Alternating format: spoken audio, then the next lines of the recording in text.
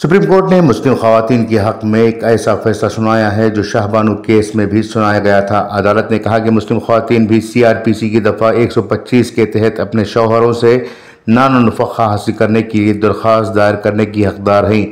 तेलंगाना से रखने वाले एक मुस्लिम शख्स ने अपनी तलाक याफ्ता बीवी को दस हज़ार रुपये भत्ता देने के हाई कोर्ट के हुक्म को चैलेंज किया था। इसके बाद सुप्रीम कोर्ट ने बड़ा यह फैसला सुनाया है। जस्टिस बी वी रागरत्ना और जस्टिस अगस्टिन जॉर्ज मसीह ने अलग अलग मुतफ़ा तौर पर फैसला सुनाते हुए कहा कि सेक्शन 125 सीआरपीसी तमाम खवतिन पर लागू होता है। उन्होंने ज़ोर देकर कहा कि अगर सेक्शन 125 सीआरपीसी के तहत दरख्वास्त देते हुए एक मुस्लिम खातून को तलाक दी जाती है तो मुस्लिम खातन शादी के हकूक़ के तहफ़ एक्ट 2019 के तहत अपील कर सकती है, जो कि इजाफी राहत फराहम करता है।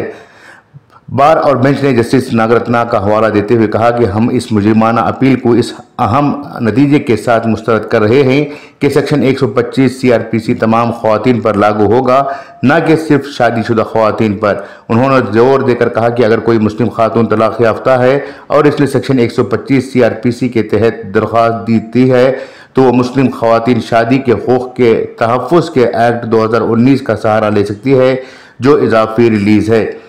फैमिली कोर्ट के हुक्मनामे को तेलंगाना हाई कोर्ट में चैलेंज किया गया, जहाँ ये कहा गया कि फरीकैन ने मुस्लिम पर्सनल लॉ के मुताबिक साल 2017 में तलाक ले ली थी।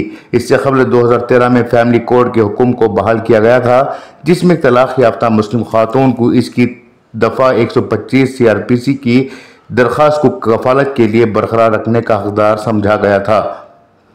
काबिल ज़िक्र है कि उन्नीस सौ पच्चीस सी के शाहबानु केस के बाद से सुप्रीम कोर्ट अपने फैसलों में लगातार कह रही है कि तलाक लेने वाली मुस्लिम खातन को नानफ़ा का हक है। शाहबानु फैसले को हुकूमत ने पलट दिया था, जिसके बाद सुप्रीम कोर्ट ने तीन तलाक के फैसले में मुस्लिम खातन के नफ़े के पहलू को वाजह किया। इसके अलावा दीगर कई मामला पर सहूलत के हवाले से अहकाम दिए गए हैं, जिसके बाद से केस सुप्रीम कोर्ट तक पहुँच रहे हैं। ब्यूरो रिपोर्ट इनकलाब न्यूज़, नई दिल्ली।